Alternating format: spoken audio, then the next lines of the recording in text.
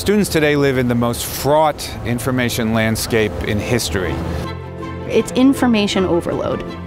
Bias, facts, opinions. Some kids can't understand the difference.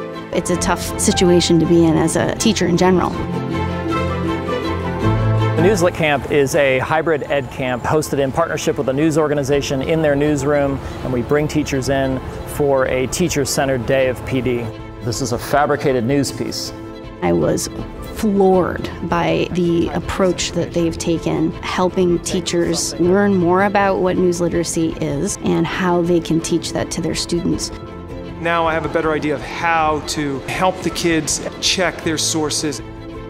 Understanding it—a wonderful breakdown of what fake news is about manipulated content, false context. If we don't give them the ability to navigate today's information landscape, they are at a significant civic disadvantage. NewsLitCamps are also a great way for the teachers to engage with journalists. Who makes those decisions? How do they do that? Right, yeah. yeah. And what we choose to cover or not cover, what's a story, what's not a story. Learning the behind the scenes kind of gives you a little bit more street cred with the kids. Being one-on-one with the reporters, they just let us pepper them with questions. We got a chance to interact and, you know, kind of just share ideas. I just kind of want to just teach them what journalism is. I think having the teachers properly informed and equipped to teach their students what's worth trusting is kind of key to keeping our whole society functioning.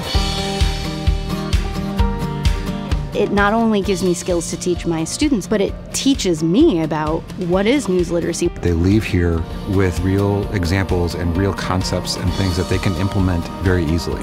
Creating a news literate next generation is essential for education, the future of quality journalism, and the health of the country's democracy.